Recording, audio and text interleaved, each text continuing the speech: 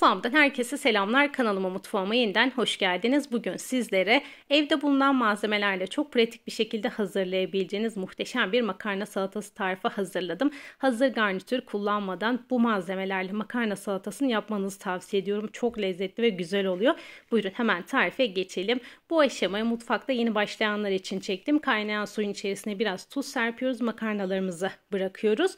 Mutlaka boncuk makarna kullanmanızı tavsiye ediyorum. Bence salatanın içerisine en çok yakışan boncuk makarna oluyor.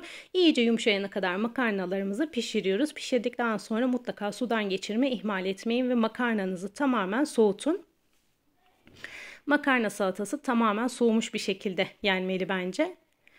Suyun altına tutuyorum makarnayı güzelce yıkıyorum. Yaklaşık 2 çorba kasesi kadar içerisine yoğurt alıyorum. Yoğurt normal suyla değil yoğurt suyuyla açmayı ihmal etmeyin. Bir 5-6 yemek kaşığı kadar mayonez ilavesi yapıyorum. Birazcık da kornişon turşunun suyundan ilave ediyorum. Çok çok güzel bir lezzet veriyor. Mutlaka kullanmanızı tavsiye ederim. Biraz da tuz ilavesi yapıyorum içerisine. Güzel bir şekilde çırpıyoruz. Pürüzsüz bir kıvam elde edene kadar çırpıyoruz. Makarnalarım haşlandı. Suyunu süzdüm. Makarnayı soğuk sudan geçirdim. Tamamen soğuttum. Soğuttuktan sonra hazırlamış olduğumuz yoğurdun içerisine döküyoruz. Bir adet salatalık rendeledim. Mutlaka salatalık kullanmanızı tavsiye ederim. Çok fresh bir lezzet veriyor. Bir adet de havuç rendeledim. Özellikle havucunuz tatlıysa makarna salatasının içerisine çok çok yakışıyor. Herhangi bir pişirme işlemi yapmadım. 5-6 tane de kornişon turşuyu ince ince olacak şekilde doğruyoruz. Havuç, salatalık, kırmızı köz biber bunları mutlaka kullanmanızı tavsiye ediyorum.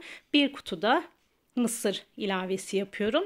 Bir adet bu şekilde yapıp derin dondurucuya kaldırıyorum özellikle. Köz, közlüyorum biberi. Dolapta sadece makarna için muhafaza ediyorum. Bir tane iki tane içerisine giriyor. Bence köz patlıcan da çok yakışıyor içerisine ama çocuklar sevmiyor.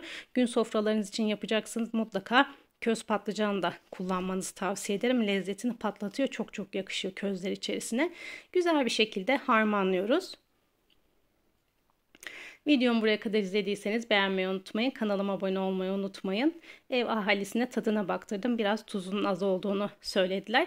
Tuzuna bakın. Gerekiyorsa biraz daha tuz ilavesi yapabilirsiniz.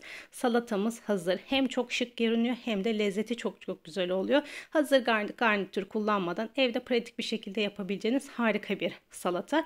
Yaptıktan sonra mutlaka yorumlarınızı bekliyorum. Videomu görmesini istediğiniz kişileri paylaş butonundan paylaşabilirsiniz. Yap da yiyelim dediğiniz kişilere de ulaştırabilirsiniz.